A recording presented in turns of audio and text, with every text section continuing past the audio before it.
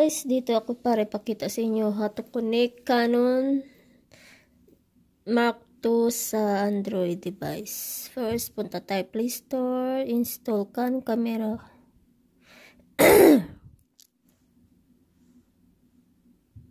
Open.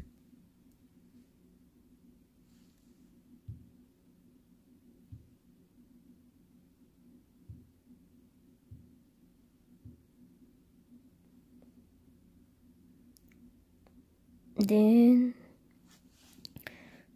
connect to a camera. Magkaroon tayo. Oops.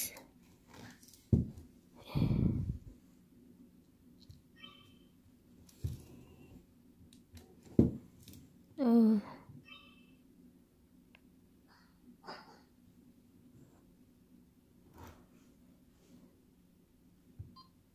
Ma-device tayo guys. A-device. Punta tayo settings ah.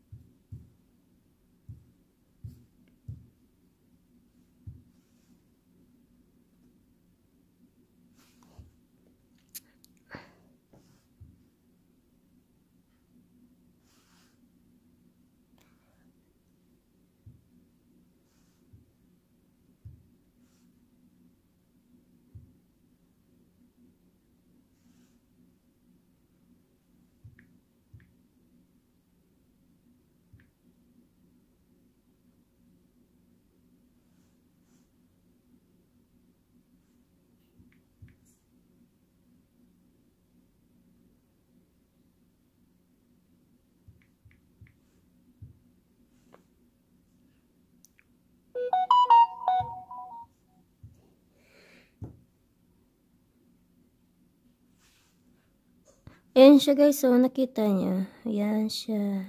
Connected smart device can operate camera and access image and memory card. Yes. See, start na tayo guys. Start. Ayan na siya guys. Isa natin dito.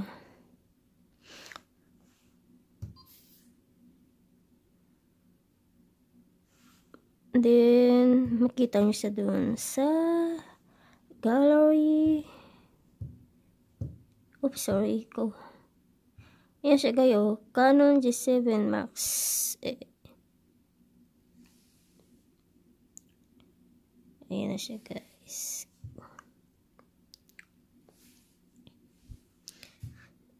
Tapos, pwede din gawin nyo ganito lang naman din click nyo lang to image yung camera then yun. Makita yun na lahat ng picture dito sa Canon nandito sa phone.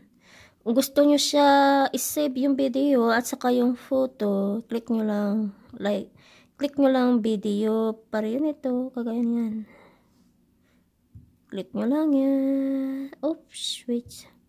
Ayoko yan mahaba. Dito na lang tayo Then, download.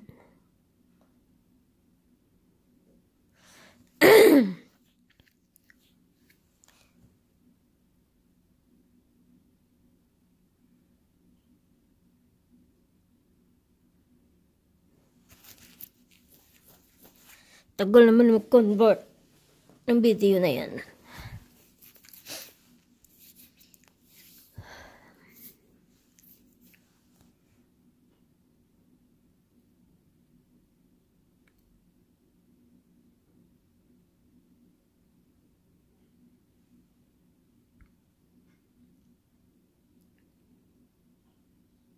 Then guys, balik tayo dun sa gallery. Nandun yun. Ayan siya guys. Oh. Ayan na siya. Kita nyo guys. Then, ito, pakita ko sa inyo. Mino. Wait lang. Guys, ito siya yung ano video na sinave ko sa phone ko. Pakita ko.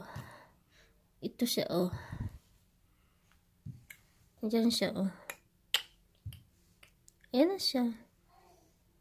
Ayan. Din guys yung ano, video, video na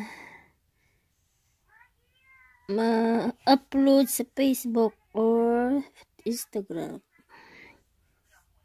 Ayan siya. Kagaya niya.